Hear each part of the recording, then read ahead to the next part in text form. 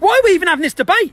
Well, a few reasons, really, but firstly, my freeze peach! But more crucially, there are three reasons why rejecting Shamima Begum is actually a really bad idea. One, it's illegal to make people stateless under international law. This is to protect your rights so that the government can't strip all of your rights away, because your rights are tied to your citizenship. Two, she should be held here anyway, because here we can have a proper trial for her, extract knowledge about ISIS from her, and Theresa May can run away and leave her in charge of negotiating Brexit. And three, under UK law, she was groomed at the age of 15 by an adult then she was raped and then made into a child bride. If this didn't damage her mentally, then the airstrike certainly will have. So we shouldn't take what she says, and she's said some dodgy stuff, at face value.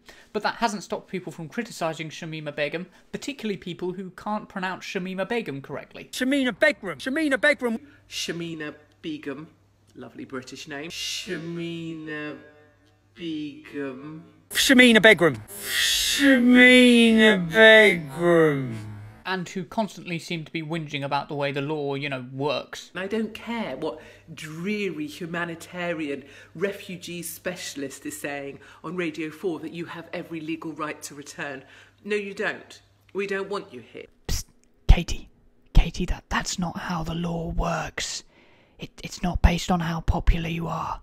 And that's kind of a good thing for you, because otherwise you'd probably be behind bars, so maybe don't promote that. It's not a good idea. No, you won't be coming home.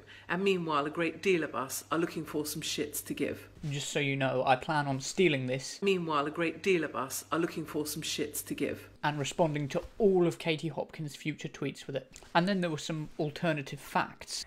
And it takes five minutes to research. Her dad is a jihadi. Her dad went to Lee, Rig- hung around with Lee Rigby's killer. Her dad burned American flags outside the embassy whilst cheering death to the West.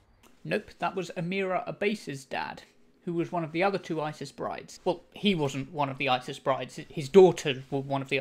You get the picture. That five minutes of research didn't do you much good, did it, Tommy? And then there was some interesting suggestions. Even by prosecuting them and putting them in jail, that doesn't solve anything. They recruit more. We need military prisons. You mean like a special prison where they keep people who are enemies of the state? I'm sure there's like a name for that. I, I just can't think what. What do they call those? Oh yeah, but I'm sure that has really bad connotations. Like I'm, I'm sure that that was promoted by somebody called um. Damn it! What was his name?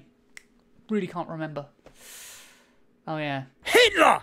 So let's not go down the road of punishment without trial, concentration camps, and stripping people of their rights. All to be angry at some girl who's called. Oh, God. What was her name again? What's her name? Shamina Begum. Shamina Begum. Shamina Begum.